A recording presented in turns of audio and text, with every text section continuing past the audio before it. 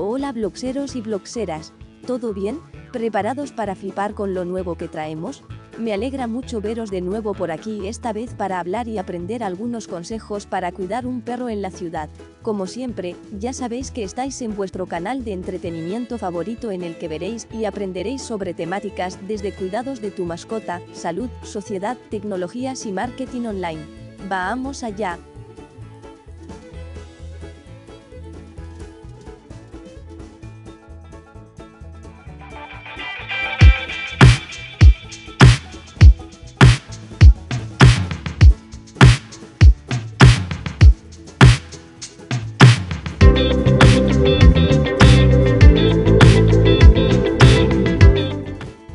Descubre todas las curiosidades, ideas y consejos que te ofrecemos en nuestros vídeos.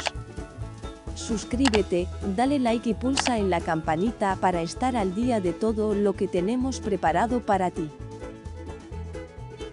Consejos para cuidar un perro en la ciudad.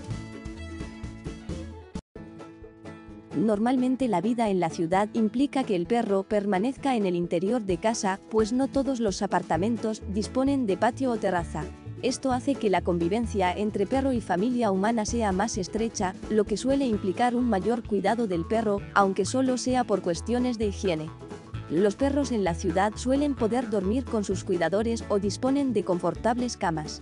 Se bañan y se asean con regularidad, se desparasitan interna y externamente, se vacunan e incluso visitan la peluquería canina están sometidos a una vigilancia más estrecha que propiciará que visiten con mayor frecuencia al veterinario. En consecuencia, pueden detectarse patologías de manera precoz y mejorar la calidad y la esperanza de vida. También son perros que suelen recibir adiestramiento, lo que les ayuda a adaptarse mejor a la convivencia con las personas. Además, los perros sin hogar se hacen más visibles en la ciudad, de forma que pueden ser recogidos por asociaciones protectoras. Problemas de los perros en la ciudad. Probablemente el mayor problema de los perros en la ciudad sea la falta de espacios para su esparcimiento. Para ellos es fundamental la práctica de actividad física. En el medio urbano no siempre se cuenta con lugares apropiados para dejar correr al perro suelto. Hay pocos parques destinados a ellos, no todos están en buenas condiciones ni cerca del domicilio.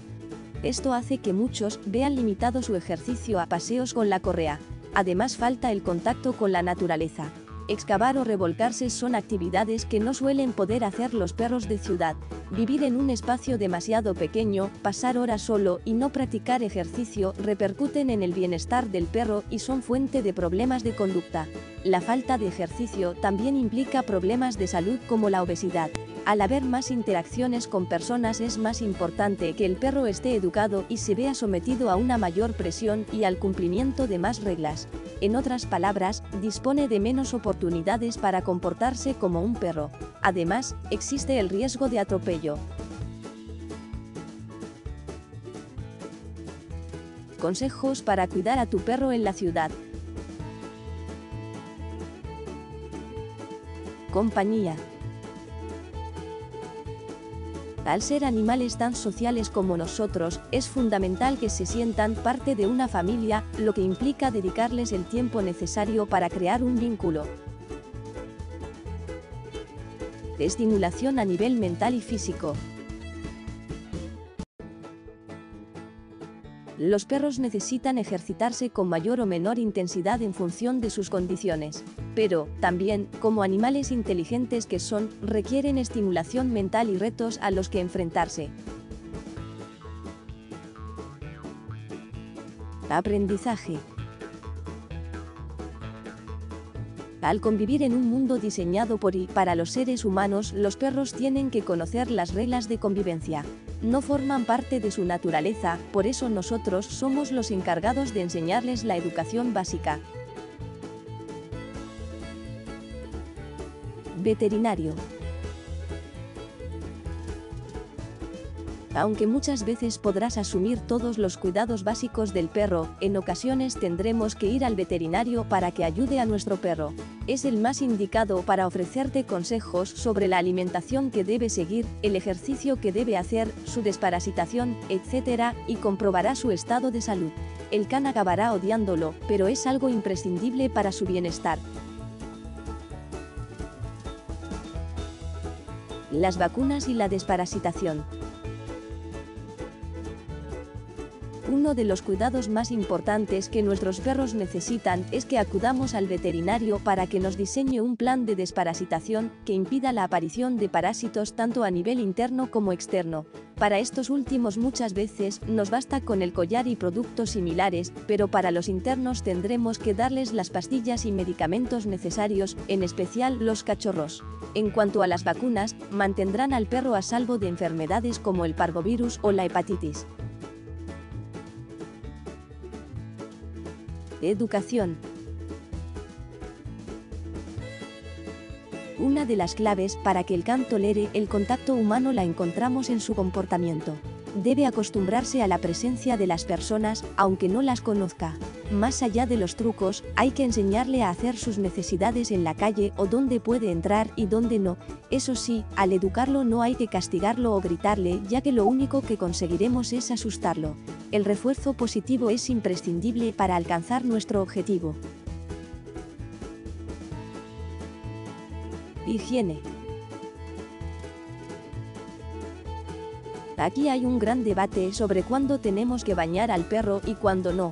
A los perros no les suele gustar el agua y si lo cepillas a diario para que tenga el pelo limpio no tendremos que bañarlo cada mes.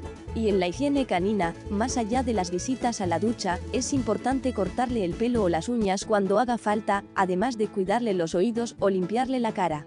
Para que no reniegue es imprescindible que se sienta a gusto con la gente y deje que lo toques.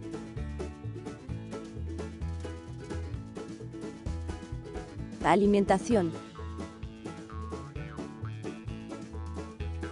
Según la edad del cachorro le daremos de comer con más o menos frecuencia, tres veces al día si es un cachorro, dos o incluso una si es un perro adulto, y siempre tendremos un poco de agua fresca en el cuenco para que el can esté hidratado, especialmente en los meses más calurosos del año. Debes darle un pienso de calidad, nutritivo y acorde a la edad del perro para que ingiera todos los nutrientes que necesita,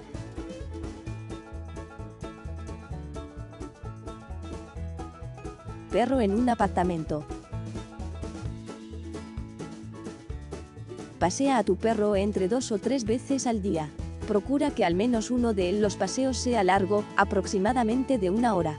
Sería ideal que dispusiese de algunos minutos para correr suelto o interaccionar con sus congéneres. Aprovecha el fin de semana o tu día libre para hacer alguna excursión con él, practicar senderismo, llevarlo a la playa, al monte o incluso a realizar alguna actividad como el agility. Edúcalo independientemente de su edad. Unos minutos al día practicando órdenes para acudir a la llamada, sentarse o caminar al lado refuerzan nuestro vínculo, ayudan al perro a manejar el estrés de un mundo que no controla y lo estimulan a nivel mental. Comparte tiempo con él todos los días, por ejemplo, con una sesión de juego o de cepillado pero ni hace falta hacer algo juntos, con que le pongamos una cama donde nosotros pasemos más tiempo, ya se sentirá acompañado. No lo dejes solo todo el día. Si nunca estás en casa, adoptar un perro no es buena idea. Cuando te tengas que ausentar, si es necesario, déjale algún juguete con el que pueda interactuar. Llegados hasta aquí, solo me queda invitarte a compartir este vídeo en tus redes sociales o dejarme un comentario si tienes cualquier duda u opinión sobre el tema.